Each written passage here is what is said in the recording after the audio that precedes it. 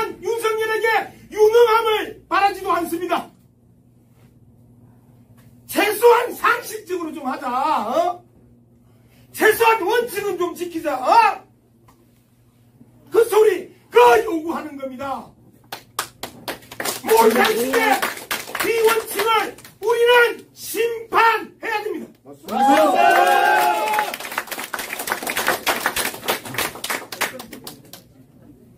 우리가 가지고 있는 이 피눈물 그 아이들이 또다시 그렇게 쓰러져 가는 그 모습들을 일주년이 됐는데도 진상규명 하나 안 되는 그 이태원의 참사들을 우리는 지켜보고 가슴만 쳤습니다. 어떻게 할수 있는 게 없습니다. 보궐 선거도 없었어요. 투표 좀 하자, 심판 좀 하게 그 분노들이 이제 누적되고 쌓여서 4월 11일을 우리는 기다리고 있습니다. 뽑아달라는 거 아닙니다. 뽑을 겁니다. 윤석열을 심판하자는 겁니다. 여러분.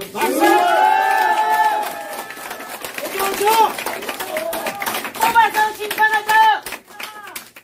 많은 분들이 양문석 말 조심하라 그렇게 하면 되는데 입 조심하라 라고 해서 되게 기분 나쁩니다 조심하라 하면 굳이 입 조심하라 합니다 양문석 이제는 소리 지르지 말고 좀 부드럽게 해라. 합니다. 질러도 됩니다. 그런데 여러분 우리의 아이들이 죽어가고 있고 이 땅을 만들어 왔던 80대 90대 어르신들이 소외당하고 있고 거기에 대해서 뭔가 하나라도 좀 고쳐서 그들에게 대한민국이라는 자부심을 좀 심어주고 싶은데 그걸 잘라내고 도려내는 윤석열 정권을 쳐다보고 있으면서 양무석이 무슨 재주로 부드럽겠습니까? 저도